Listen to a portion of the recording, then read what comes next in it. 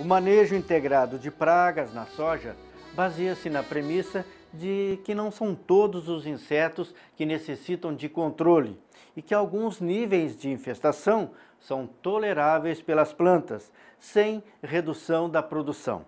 Dessa forma, o controle químico só é feito quando realmente há risco de dano econômico.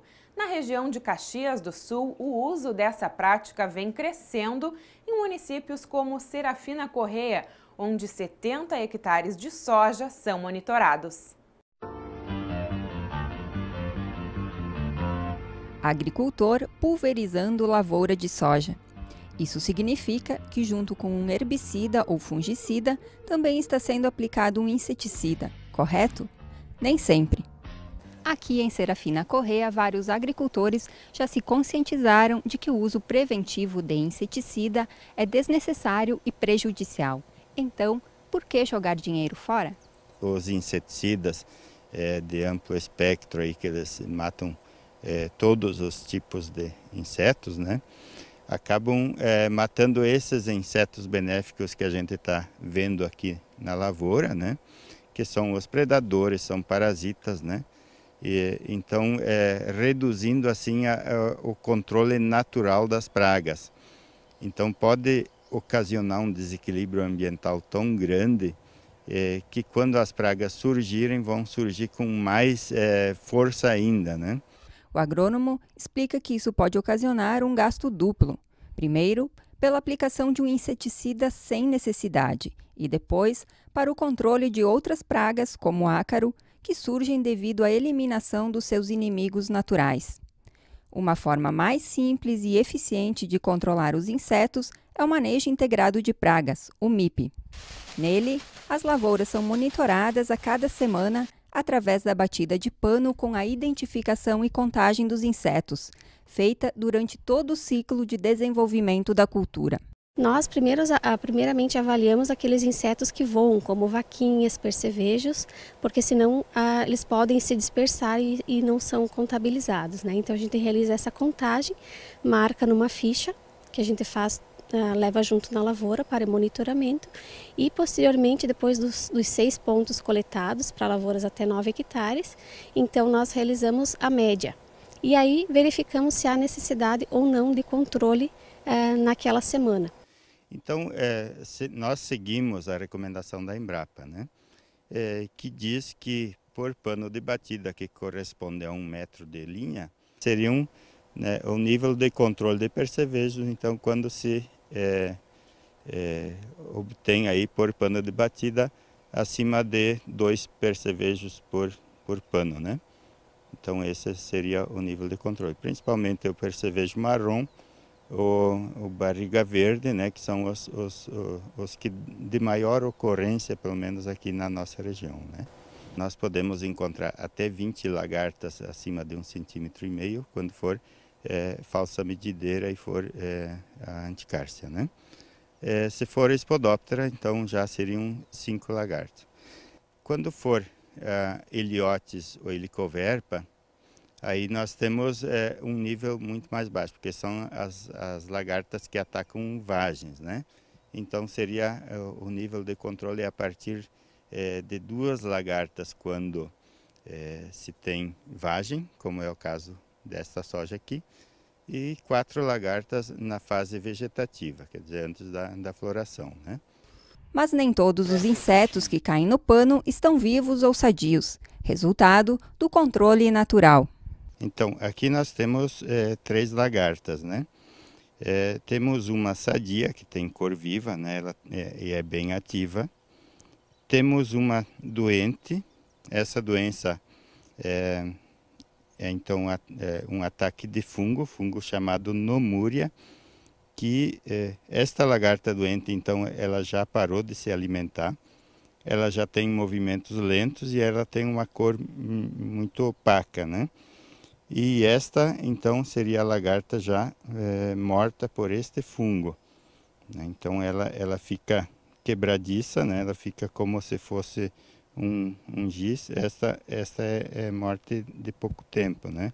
Então este fungo né, que atacou essa lagarta, ele, ele, aqui ele se reproduz e ele vai é, contaminar outras lagartas, né? E vai causar a morte delas. E isso ajuda a manter uma, uma população muito baixa das, das pragas, né? Das lagartas pragas. É, nem tudo é tão grave quanto parece. Até a fase da floração, a soja tolera um nível de desfolha de 30% e, a partir daí, de 15%. Além desse dano, o agricultor também deve observar se há ácaros embaixo das folhas. A Emater auxilia os produtores até que eles sejam capazes de realizar essa avaliação sozinhos. Atualmente, cinco agricultores fazem o um monitoramento em Serafina Correa. A Emater acompanha 22 hectares é, no total e os produtores resolveram fazer por conta em outras áreas. Então, mais de 70 hectares de soja monitorada no município, o que representa um pouquinho mais do que 2%, o que já ficamos bastante satisfeitos, uma vez que o trabalho ele está apenas iniciando, né?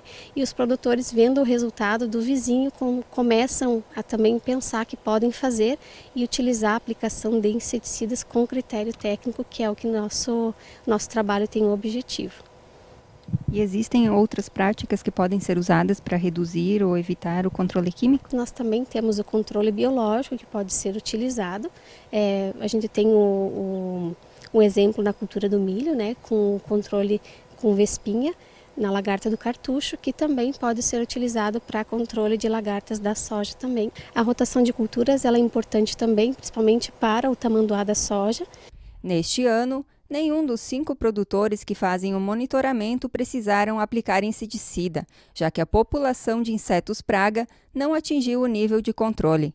Além disso, o número de insetos benéficos encontrados nas lavouras, ou seja, daqueles que controlam as pragas, foi superior ao de insetos prejudiciais. Seu Vilmar, que há quatro safras realiza um manejo integrado de pragas em 8 hectares e meio de soja, se diz satisfeito. O antes que se uh, usava muitos uh, inseticidas, né? E agora que não estamos usando inseticidas, o benefício nosso mais é que se tem mais uh, rentabilidade, né? Aí beneficia o cara que vai passar, que não tem perigo de ter muito inseticida né, em cima do cara. E os inseticidas que nós não passamos, produtos, assim uh, tirando um saco de soja por hectare, a menos, que estou sobrando agora, né? Tenho os produtos guardados lá na, na no galpão, tá lá, estão lá vencendo. Mas com orgulho deixamos lá guardado vencendo e vamos continuar de novo ainda.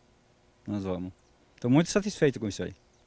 Olha, se eu pudesse recomendar para todos os agricultores do município, eu recomendaria para todos. E a produtividade aumentou ou diminuiu? Ah, nos últimos dois anos aqui aumentou a produtividade de soja. Ah, no último, até inclusive no último ano aqui, na lavoura minha de soja, eu colhi 75,5 sacas por hectare de soja. Uma produtividade acima da média do município, que é de 63 sacas por hectare. O agricultor considera como outro grande benefício desse trabalho o aprendizado, que também está sendo útil no cultivo do morangueiro em substrato. As pragas são as mesmas? Não totalmente as mesmas mesmas, mas quase iguais seriam. Então, ajuda as duas coisas, a lavoura de soja e a lavoura de morango também. As vantagens do manejo integrado de pragas chegaram ao conhecimento do vizinho, que se deu conta de que por muitos anos usou inseticida sem necessidade. A família está fazendo monitoramento pelo segundo ano em uma área que já atinge quase 30 hectares. Nesses dois anos que foi começado esse trabalho, não houve a necessidade de aplicar inseticida. Eu acho muito importante porque, além do, do fator econômico que a gente é, poupa o custo do inseticida, a gente tem um lado ambiental, que a gente eh, lança menos agrotóxicos na, nas lavouras, né? onde que a própria natureza ela faz isso, né? Os, os predadores, na verdade, naturais que controlam uh, os insetos prejudiciais à cultura, né? Dá para dizer que o manejo integrado de pragas só tem vantagens? Sim, Com certeza. O aplicador, né, ele tem menos contato com agrotóxicos, além assim de do, do, do consumidor ter um produto com mais qualidade, né? E um, a, além de auxiliar no meio ambiente, a diminuição da poluição por conta dos agrotóxicos.